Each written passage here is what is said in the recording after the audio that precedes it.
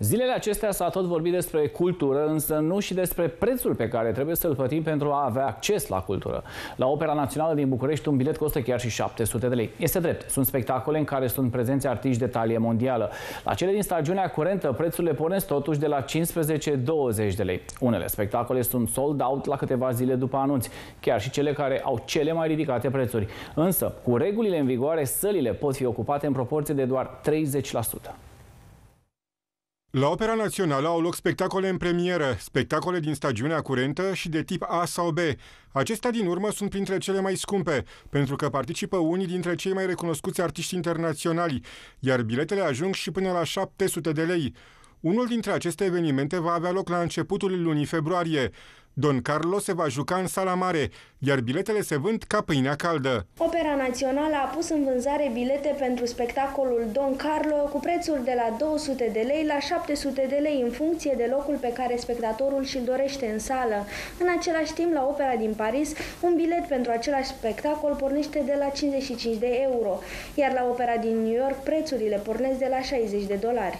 Prețurile pentru opera națională sunt avizate de Ministerul Culturii. Aceste prețuri sunt prețuri obișnuite pentru spectacolele de repertoriu. Avem o altă categorie de preț pentru spectacolele în premieră, pentru care Opera Națională Uh, uh, investește niște bani și uh, fiind în premieră este normal să fie puțin mai scumpe. Trebuie să facem tot ce putem, să facem venituri proprii, mai ales că sunt niște vremuri în care nu stăm foarte bine financiar, niște vremuri în care costurile la curent și la gaze au crescut foarte tare. Ținem cont în primul rând de faptul că putem să să, să ocupăm doar 30% din sală. Cei pasionați continuă să vină la operă. Publicul vine să vadă niște spectacole frumoase, dar în spatele acestor spectacole se află o muncă titanică. În aceste momente, după cum știți, noi putem ocupa doar 30% din capacitatea sălii, așa încât biletele se vând foarte repede. Toate biletele se vând și primele care se vând sunt cele mai scumpe bilete. Dacă ne permitem, e bine să mergem. Cred că cei care au căutat înainte, caută și acum.